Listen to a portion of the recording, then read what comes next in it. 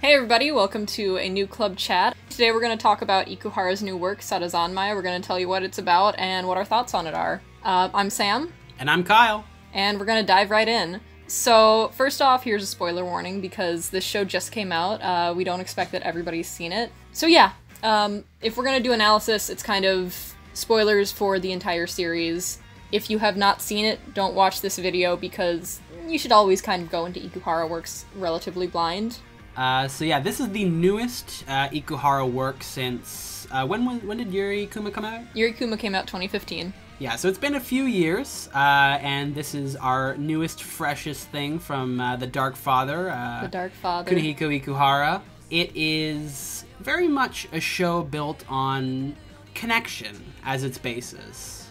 It is a, a show about connecting to others, connecting with different people, from different uh, different slides of life and what that means. And so we have our three boys, uh, Kazuki, Toi, and Enta, and how each of them managed to connect with one another despite the the various hurdles in their lives. Also, there's some magic shit with kappas. There's always some weird magic shit when it's Ikuhara. There's always something crazy going on. And speaking of hurdles, there is one thing that I want to get out in front of as soon as possible. So, like, if you saw the first episode of Sarazanmai, you know that this show goes to some weird places. There's uh, a lot of butt stuff, which mm-hmm. is not something a whole lot of people expect to see. Um, shame is like a really big theme in this show, for sure. Like, we can't understate, you know, this show gets a little bit kind of grotesque at times. Not in a, like, disgusting gore kind of way, but in a sort of it's challenging to watch those first couple of episodes, but once you adjust to sort of the Ikuhara weirdness scale of this particular work, you'll come to appreciate the greater themes at work and the greater message that's being put across here. I think the like best way to talk about the themes of these shows and to sum them up nicely is kind of going with those old kind of sayings where it's like in order to be loved you need to be known and that is yes. one hell of a trial because being known is a terrifying thing. Mm-hmm. And that's kind of that is the crux of what Sarazanmai is about. It's not just about connecting, but it's about how hard it can be to connect and mm-hmm. what one has to overcome in order to forge connections with people. We see this greater clash of these two major ideals, this connection versus desire, uh, two forces that are constantly opposing one another, but in a way both are present in like each of our main characters even. Each of them struggle with that uh, from the early the early show all the way to the end. And it becomes very apparent that no one person is without their shame or their desires that fuel their actions. And so to truly connect with others you have to tear down those walls and expose yourself and expose your truth in order to really let yourself be known like sam said. Oh yeah for sure and I think like a great place to kind of start with digging into the show is with the first episode, and the first Kappa zombie we see is obsessed with boxes, which then translates to the box that each of the boys have, the uh, Kappa Zone boxes, and how um, each of the items in there is symbolic of a connection, but it's also symbolic of a desire. In a way, while the boxes themselves are sort of stand ins in the early series, um, they are actually meant to uh, symbolize the greater desires that each of the boys hold dear and the way that they are sort of obscured to the world. Everybody's carrying around these boxes, they are ever present in the world, and within each is someone's own personalized symbol of desire, kind of like a totem yep. in a way. Yep, and like we see that pop up all over the series. Each of the Kappa zombie items is like a, a totem is a good way to describe it, and that's probably the term we're going to be using here. Um, mm-hmm. because like these things are their desires but they aren't literally their desires they're emblematic of those desires. And absolutely. while the kappa zombies are completely consumed by desire they are just collecting these totems. Um, the boys each have their one precious totem they're hanging on to in hopes of uh, fulfilling their desire. So with kazuki of course you have the box that is containing his uh, Sara costume. Mm-hmm. and that's of course he's using that to quote unquote connect with his little brother Haruka. Except mm-hmm. through the course of the series, we find out that there's nothing good coming from that situation. He's lying to his little brother. He's only doing that to alleviate guilt from himself. I mean, in the first few episodes, even we see Haruka really trying to Like, be happy and talk to his brother. He wants to be around his brother. And Kazuki will barely even look at him.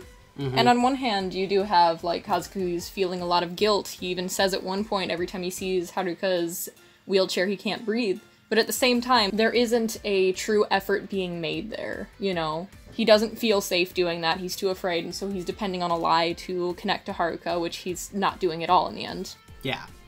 And like further on that, the idea of uh, Kazuki makes it very clear at the beginning of the series he wants to do whatever he can to make Haruka's life better and to improve, like to cheer him up in any way, going so far as dressing up as Sara and lying to his own brother, and then even earlier on, stealing a cat from another family and raising it as their own. It's it's very clear that the methods by which Kazuki is going about cheering up his brother and doing whatever it can, he's not exactly doing ethical things. The methods are shady and all of it is done out of guilt, and so that is where the desire is born from here.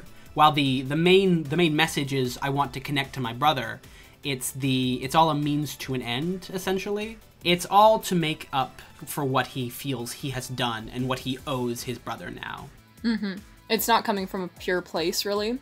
Um, Whereas Haruka, as we see when he's kidnapped by uh, Reo, Haruka is coming from a very pure place of wanting to connect and like truly loving his brother. And this isn't limited to Kazuki. Each of the boys has their box, and even though on the outset they may seem like they're uh, totems of love rather than desire, each of them is going about it in a way that's toxic to them and that ultimately is only going to get them hurt further.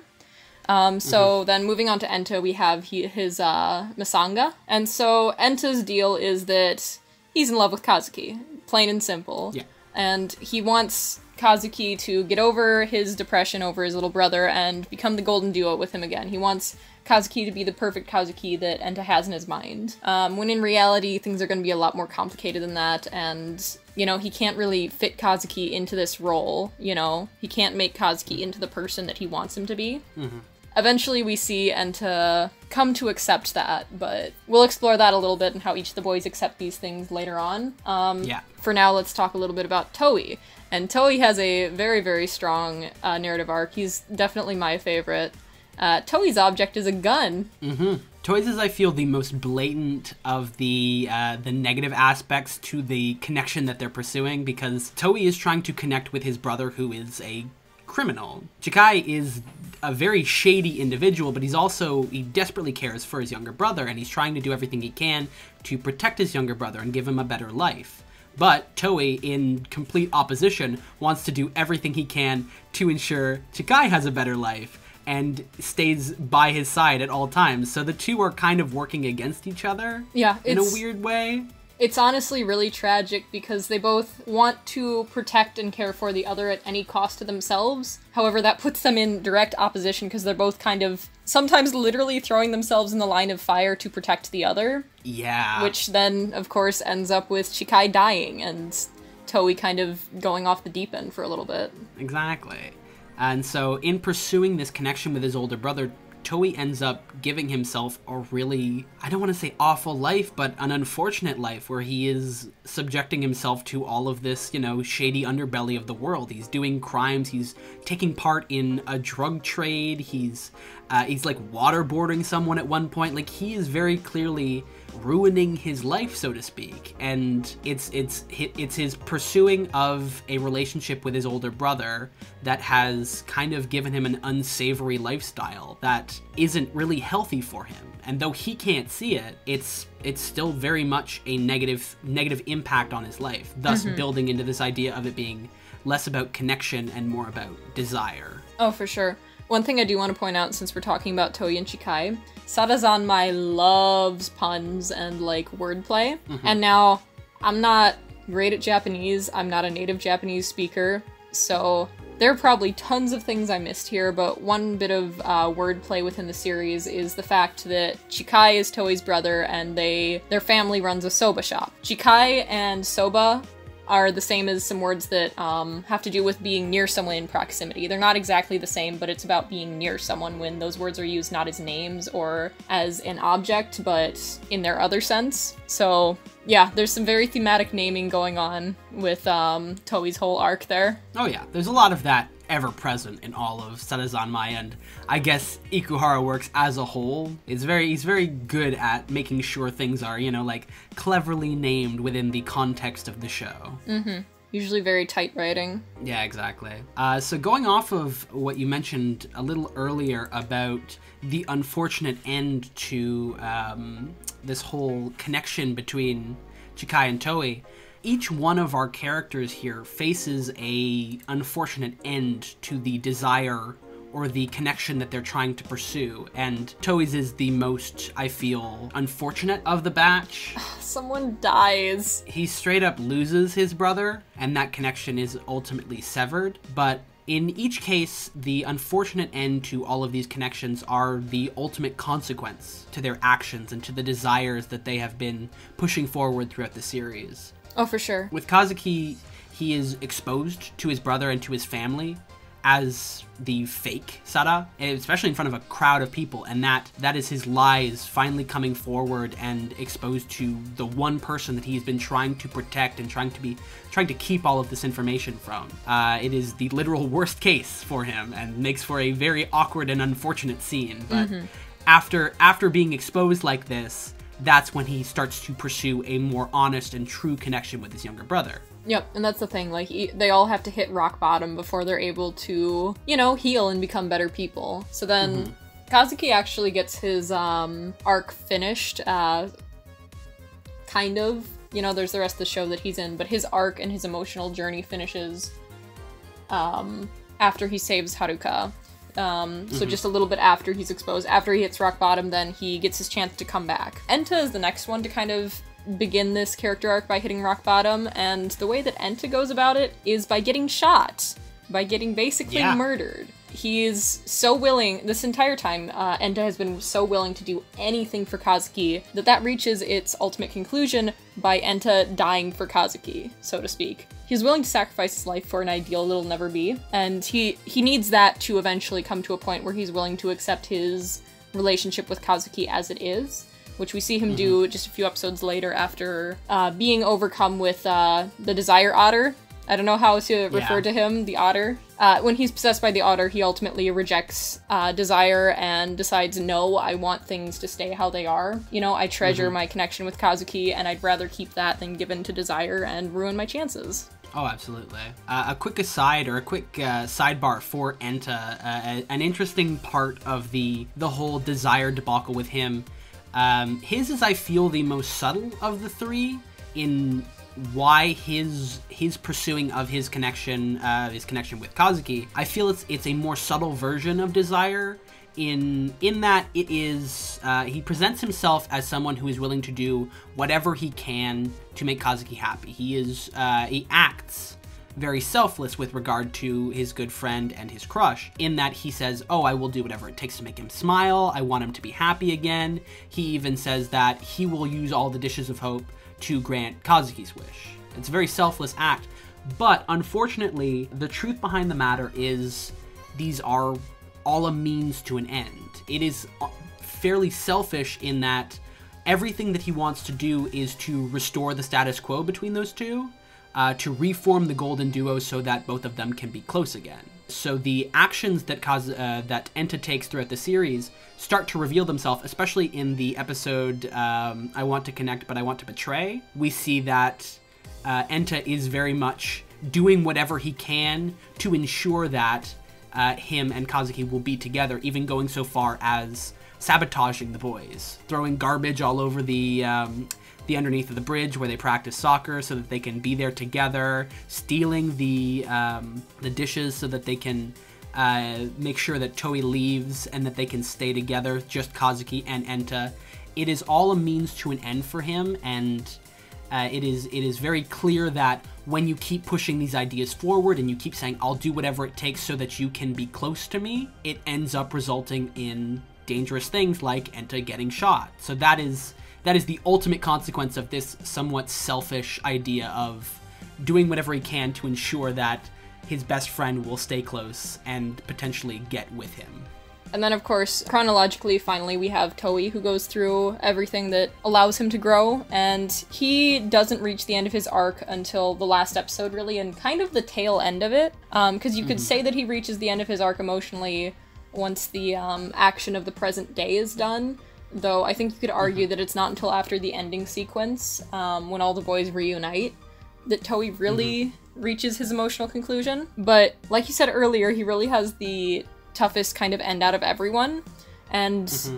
it really weighs on him to the point where he tries to, as the show puts it, leave the circle. He tries to erase himself from existence. He tries to destroy the connections at their beginning, and he's able to be manipulated by Desire Otter at his lowest point. And speaking of Desire Otter, there's quite a bit to dig in there with the uh, two cops, Reo and Mabu. The cops. The cops.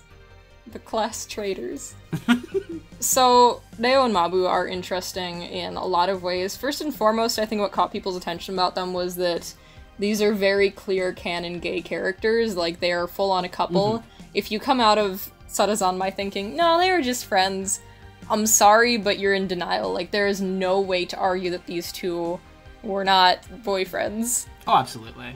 And so then it's also interesting that they are directly being manipulated throughout the series and working for the Desire Otter. Mm-hmm. And of course, in episode 9 and 10, a little bit, we get to see how that came to be and kind of our biggest example of how we see desire manipulating people. Mm-hmm. It's interesting because in the early series, Reo and Mabu are very clear antagonistic characters. They aren't our big bad, but they are responsible for each of the Kappa zombies that we see uh, in those early episodes. So naturally, we come to associate them with, you know, we, we have a bit of a negative con- connotation. But as the series progresses, there is a bit more emphasis placed on them and their interactions, which builds a little bit of intrigue. And come episode 10, we see that they are not otters at all, but Reo and Mabu are in fact kappas, in the same way that Keppi is a kappa. And what has happened here is a far more complicated issue.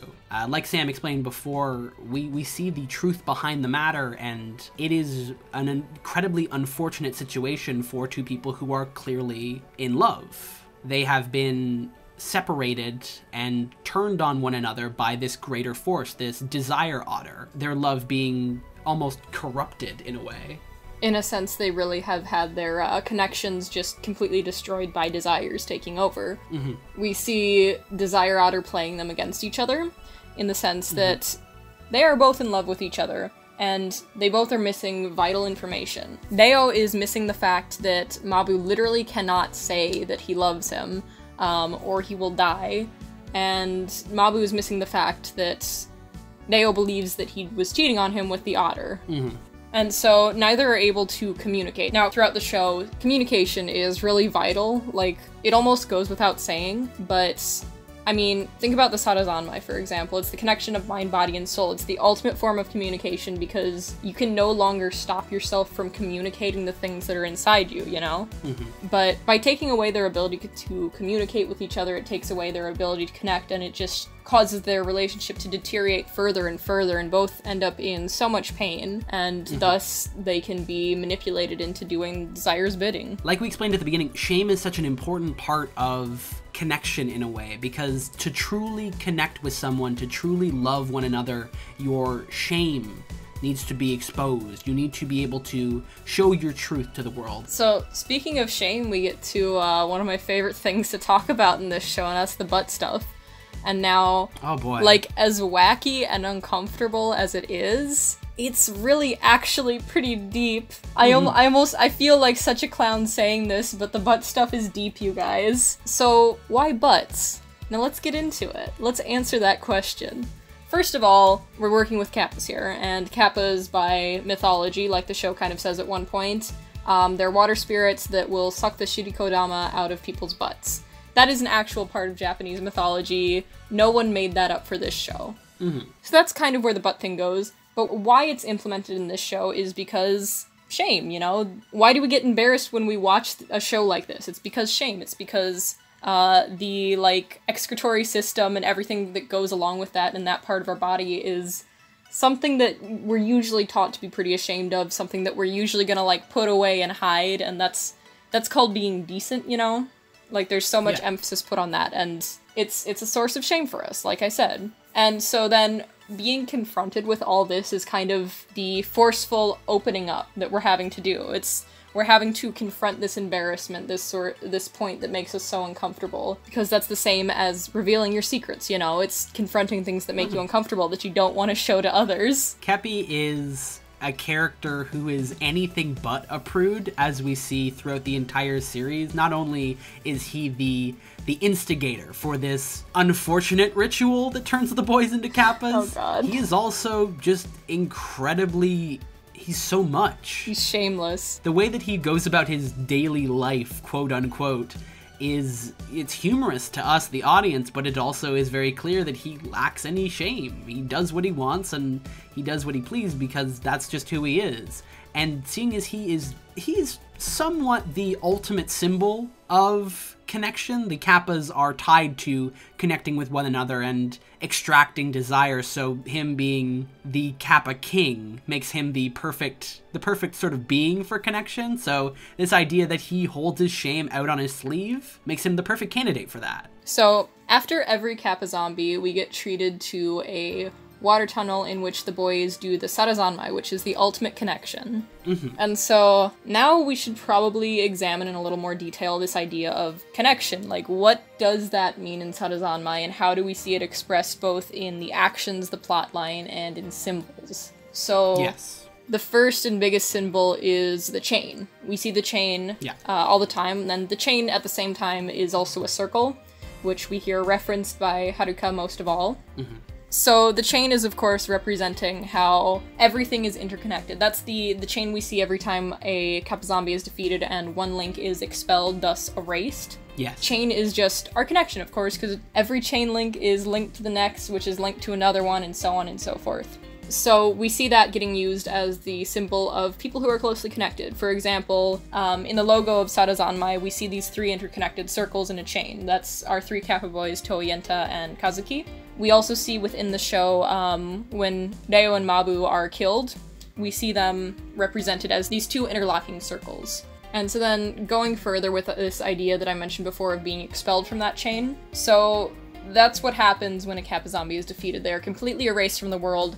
They go outside the circle, as it's put in the show. They're Yes. no longer connected to anyone, so they no longer exist. In in each case, when the Kappa zombies are defeated, we see they are erased not only in a literal sense, but in a very real, very metaphorical sense, in that they are completely wiped from the minds of everyone in the world. They are uh, erased from time in a way, in that no longer is there any memory of the person in question, which early on seems like, okay, whatever, there's very low stakes, but as we get further into the series, it becomes a more real and tangible threat. And this is, in a way, the ultimate way of disconnecting someone from the world. As long as there are still memories of someone, as long as there is still some semblance of an idea of who that person was, you can still connect with that. You can still connect with those ideas. In the same way that Toi still has a connection to his parents. Uh, he still holds on to their memory even though that they are past. So erasing someone completely like this, this is true disconnection, and this is the unfortunate ultimate end of a corrupt desire consuming one person. It is a true disconnect from the world and those around you. Mm-hmm. You focus too much on one thing. You chase after a desire even though it's harmful to you, even though it's reckless, even though it's damaging your connections with other people. You're going to end up on your own. You're going to end up losing sight of things that are probably more important, you know? Yeah. And then this also kind of ties into something we a line we hear dropped by Keppi in the first episode, and then we see it play out a little bit further on, which is this idea that as Kappas, they're both kind of as much alive as they are dead. Yes. And so we see that idea play out in that Kappa zombies, just because they are dead, they are already dead people. They they are killed and turned into these zombies. Just because they're dead, they have that does not erase them. It is their desire being um, assimilated and taken out of the world that destroys them yes. which only happens as a result of them going to the extremes with that desire. It's also the work of Dark Keppi, but you know, uh, and the Otters. You know, there, there's a whole slew of things going on. there's there's greater forces at work but going off of that the idea of desire in excess being the instigator for disconnection like this. Uh, It is very clear that what the show is trying to put forward is this idea of a balance. Because no one person is completely free of desire or free of sin, essentially. All of our main characters are guilty of letting desire run their connections and corrupt them in a way but by exposing themselves and letting their truth be known, they can move forward towards connection. So this balance becomes key, and we actually see this balance very literally represented by the the merger, the fusion of Keppi and Dark Keppi. They instead of fighting, instead of one side ultimately winning out against the other, the two merge into one being that is perfectly in harmony. And that is that is I think the ultimate goal of Sarazanmai is not to quell your uh, your desires, but to allow them to be known and to allow them to exist in harmony with your connection. Yeah, for sure. And I think like one of the taglines for Sarazanmai when it was coming out was "Desire is your life" and "Don't let go of your desire," which then we hear repeated again in the uh, Otter Cop song, in which they literally just yell right at you, "Don't let go of desire," you know. Yeah. And because that's the thing, uh, yes, desire can be this corrupting force, and we see that it is, and we see it lead people down the wrong path. Fun fact the name of the desire otter in Japanese is Kawauso, which translates literally to river otter, but the otter half of that, uso, can also mean lie. Yeah. On top of that, too, the uh, Kawauso, the otter in Japanese folklore, they are actually well known as shape-shifting tricksters in the same way that like kitsune are. Uh, there's even specific folklore that tie into otters transforming into beautiful women to trick men. A very literal uh, instance of desire being used to capitalize on those less fortunate. So it is very apt for them to be the opposition of kappas, uh, especially considering the show has a very heavy emphasis on uh, Japanese folklore. God, I love that Ikuni turns that on its head by, uh, we never see Kawauso turn into any beautiful women, women, we only see him turn into men to seduce people. Yeah, Ikuni said gay rights.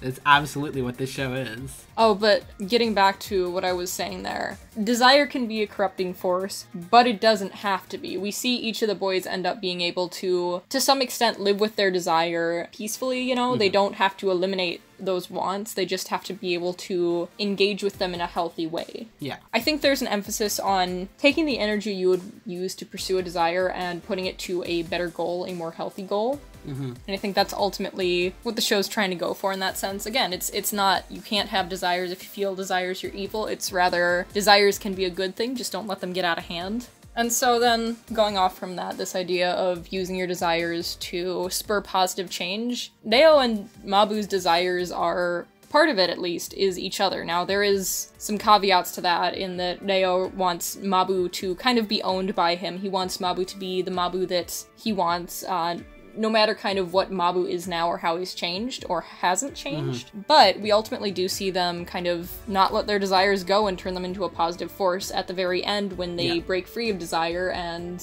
become heroes again and kind of turn that on its head, you know? Yeah. Reo and Mabu get us kind of into some really Ikuni hours with regards to systems of power, which are always part of Ikuni's works. Now, Reo and Mabu, as we've said before, they start out as these very clear villains, but then at the end they are full on assisting the heroes. You know, they're they've kind of done their turn back to the light. Yeah. And so some people might be a little on edge there still because, hey, these people did kill quite a few guys. Mhm. And so it can be hard to classify Reo and Mabu as antagonists or good guys or villains or what. And that's kind of by design. You know, Ikuni, if you're familiar with his works, he doesn't really like to have clear villains except for um, abstract concepts. Yes. In some cases, like this one, very literally abstract concepts. And now, so like, he uses this lack of clear villains to then talk about systems and how they tend to shape people's actions. In this case, we get to see how authority can be corrupted from the inside towards specific goals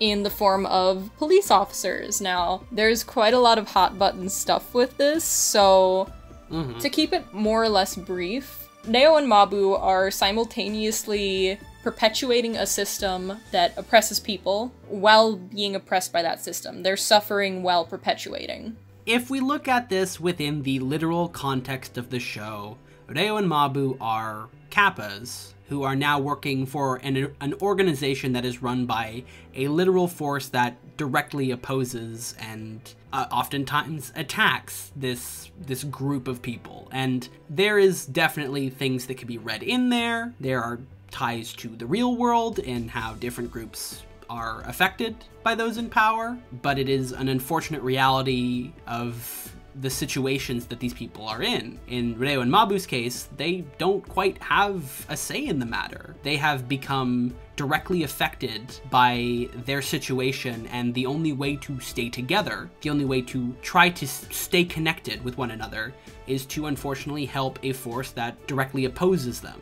It is not ideal, and it is a very unfortunate circumstance, but it is the situation that they find themselves in. Yeah. How that ties into the real world is, you know, it's up to interpretation. Obviously, there are very clear symbols here of power in Yeah. that both Reo and Mabu are dressed as police. There, yeah, there is But- definitely like a little bit of touching on police violence, though they don't Mm-hmm. really end up saying too much about that in particular outside of this is a system that uses its power unjustly at times. And I think like you can't ignore the fact that Reo and Mabu are benefiting from that system in some way, you know. They're getting Mm-hmm. to stay together, which is what they want. They were saved by this system, and so in turn they're going to go do harm to other people for it. You know, they're not just Yeah. because they from one angle have to be there does not absolve them of those crimes but mm-hmm. it is it is if we're going to engage with this work we need to be able to recognize that they are still harmed by it they were in the past and they still are in the present mm-hmm. These these two men are not exempt from the rule of desire within this show. In order to finally connect once again, they need to face the ultimate consequence of their actions here. And in trying to pursue this connection which is slowly deteriorating, they are actively doing harm to other people who are trying to connect. And when that directly affects them and the force that they're working for turns against them and Mabu becomes a Kappa zombie, that is the last straw. And that is the point where, unfortunately, Mabu loses his life. Both Reo and Mabu lose their life as a result of this. But from those ashes, a stronger connection is born, one that surpasses even death, further proving that this idea of connection is beyond life and death. It is something that exists in sort of all worlds. So long as there is still a memory, so long as there is still some semblance of that connection in the world, then it's still alive. It's still still as strong as ever. Oh, for sure. I think there's really a lot that uh, and Mabu are used for. There's there's quite a bit to them that's also a commentary on how specifically Japanese media uh, treats gay men. Though I don't necessarily want to talk about that today, just because I don't have the notes for it, and I don't want to kind of plagiarize or paraphrase anyone else. I might link to some people who are wiser than I who have really dug into that in the description below. Yeah. Also, if we talked about every single thing in this show, it would take all day No, literally. To kind of get us into this last leg here, we're going to talk about some uh, symbols in the show and what exactly those mean in the context of the greater themes. Yeah. So, the first or first two symbols that are reoccurring that I want to talk about here are rivers and bridges. And now, one of those is very clear. You know, bridges connect places, they connect places that previously are unreachable. You know, it's very much tying in with the theme of connection. We see these quite a bit. The river is a constant backdrop and so is the bridge that crosses it. Many scenes take place on or near bridges. For example, the spot that Enta and Kazuki practice all the time is right next to a bridge, which is also where young Kazuki received the misanga from Toi. And it's also where every single Kappa zombie is fought. Yes, bridges are also where Kappa zombies are fought. We see in episode 10, Reo, in the state of mourning Mabu's death, uh, is destroying bridges with his gun. Uh, this literally the destruction of connections there. It's it's kind of slapping you in the face. Yeah. And so rivers then might seem like they're this idea of like separation then it's it's the rivers that separate us. Mm-hmm. But that's not really what it's saying here because rivers and water as a whole are kind of pulling double duty here. Now, like, if you think about it geographically, yes, rivers divide two swaths of land, but at the same time, they're not as if, like, the world has disappeared. There's still water connecting those two places. And, you know, water is a vital part of economies. It's vital for living. It's very important. You can't really classify water as a bad thing. Mm-hmm. So the interesting thing that Sarazanmai does is it makes water kind of a scary positive, is the best way I'd put it. Mm-hmm. Water is used to show this kind of like separation, but it's usually like a necessary separation. It's a separation that allows for a connection to form, you know, it's very much tying in with the idea of like we need to show the parts of ourselves we're ashamed of in order to really deeply connect with other people. Mm-hmm. So now, I think the most prominent example of this is, of course, the um, the tunnel of water that we see at the end of every uh, Kappa Zombie sequence. So this is very much the three boys are at their height of connection here. They perform the Sarazanmai, which is the ultimate connection inside the tunnel of water. So how does that separate them? Well, uh, when they perform the Sarazanmai, they have to confront their fears. They have to confront the things they're ashamed of. And sometimes the knee jerk reaction people have is to draw away. Like the first time when it's revealed that Kazuki is dressing up as Sara, his immediate reaction is to reject the others, even Enta who is saying like, "Oh, you know, it's it's I'm fine with it." Yeah. It's because, you know, it's it's something he's ashamed of. But had he not revealed that to the boys forcibly or not, he never would have gotten over it. He never would have received support from them in the long run. Mm-hmm. Water is this necessary barrier. Think of it this way. If we didn't have rivers, we wouldn't have any need for bridges, and bridges are what connect us. Bridges are literally our connections here. But without these scary things we have to confront, without these pieces of shame, we would never really be able to connect. There would never be a need for connection there. Yeah, absolutely. You have to kind of throw yourself in head first in order to keep those connections strong, and sometimes that takes a very literal meaning in a lot of the cases where we see the boys throwing themselves into the water, like in the one of the last scenes in the show. Toi throws himself off the bridge into the water below and who is he met by but Kazuki and Enta? And that is a you know it's it's a it's a tough thing to do to jump off of a bridge into the water. It's there's a lot to read into there, but it is the the final way that he can connect with his friends. From that point, they are stronger than ever. Their connections are true and honest and only grow from there. So, on top of that, there is also another sort of another way that the water has connected people in the past. Uh, one of the the biggest connections early on, especially early on in the timeline, is the connection between Toi and Kazuki, which sort of instigates a lot of the uh, a lot of the stuff within the show. After all the stuff that happens with Chikai and after Toi kills a man, he is willing to give up the one thing that he loves the most, tossing his soccer ball and his misanga into the water, which in turn passes it on to Kazuki. This forms an obvious connection, even though water is initially considered to be this separator, but that brings us to what I feel is one of the stronger pieces of symbolism within the show, the misanga itself which the the show sort of explains that it's a uh, it's sort of like a friendship bracelet type thing that is often worn by uh, people who play soccer. Uh, so it is tied to the sport in a sense, but it is also our uh, our main connector. It is it is the means by which the three boys are connected, and obviously there are parallels that you can make when you have a an object like this that is what allows these people to connect with one another and allows the show, essentially the plot of the show, to happen. Uh, this is essentially our apple from Penguin Drum. Now, there are also a lot of other references to Penguin Drum throughout the series, like episode 6, for instance, I feel is probably the strongest and most blatant Penguin Drum reference. There's the adoption narrative pushed forward with the uh, with Haruka and Kazuki. Uh, the the they they are essentially in like an industrial hellscape when they are saving Haruka. There are boxes, boxes everywhere. We see like a literal child broiler from Penguin Drum. Uh, there's like all of these things. Even with the child broiler, we see the same sort of like sparkly glass dust being ground out of it. Um, It's really like a clear nod to Penguin Drum. You, you can't deny that the aesthetics are there. Especially with um, background people being shown the same way that they're shown in Penguin Drum. Albeit this time in Sarazanmai they have more traditional hairstyles, which again ties in with the prevalence of Japanese mythology. And so, going back to the Misanga in question here, the, the main symbol of our connection, it is constantly thrown around between uh, our three boys.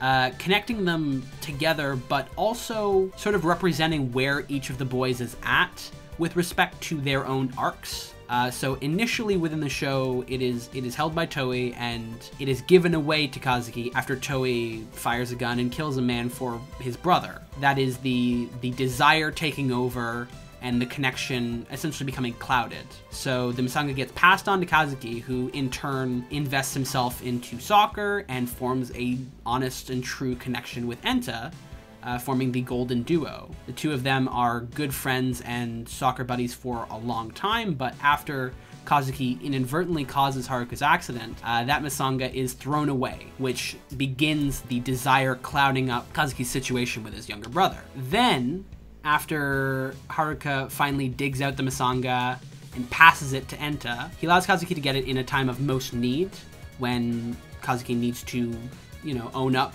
and save his brother from the uh, the otter cops, allowing him to once again be truly connected to his younger brother. So it's passed around all a bunch, and each time it gets passed around, and each person who possesses it, they finally become connected again with those that they are wanting to connect to. And that, of course, culminates in kind of like connecting the chain fully into a big circle, in that the boys then pass the uh, misanga back to its initial moments, so that the again the chain can be completed.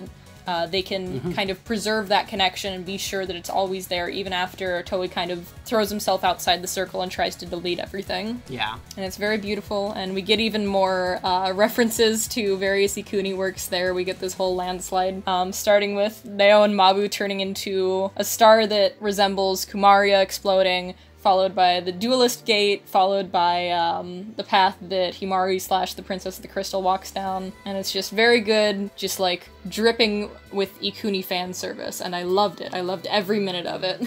like overall this show it, it's definitely a strong contender for one of my favorite ikuni works it hasn't quite topped penguin drum but it's it's very close and the fact that it not only has such a strongly constructed narrative with all of these wonderful cases of symbolism but the fact that it also is you know incredibly self-aware and gives the people all of these fun references to the earlier works it's it's it's a pleasure to see from someone like Ikuhara who you know it's it's plain to see he is having fun with this. I remember an interview where he said that he didn't tell anyone about all the butt stuff when he initially pitched the show, and so he he was gonna get scolded for it, but he didn't mind. It is easier to ask for forgiveness than it is to ask for permission. It is easier to put some very weird shit on television than ask for permission. Exactly. So yeah, overall, Sarazanmai is just this really wonderful show that it has been such a pleasure to not only watch as it came out, but to rewatch and to restudy all of these little things. That is, it, it, it is the true weight, I think, to experience an Ikuni work. Oh, yeah. Oh, yeah. Is to just watch it and then rewatch it and rewatch it. Like, because you get so much value from ex- re-exploring the series within a different context while you understand the ending. It's yeah. it is really really wonderful and it it really just informs a lot about how much work and how much time and effort goes into creating these works by Ikuhara. You could say that um, he makes sure all his works are really uh, connected. And that's all the time we have, folks. Thank you. Thank you for coming out. That was very beautiful. Thank you. Thank you for watching, guys. Great show. If uh, you watch this without seeing it, you need to go watch this show now. Those are the laws. I don't make them, I just decide what they are.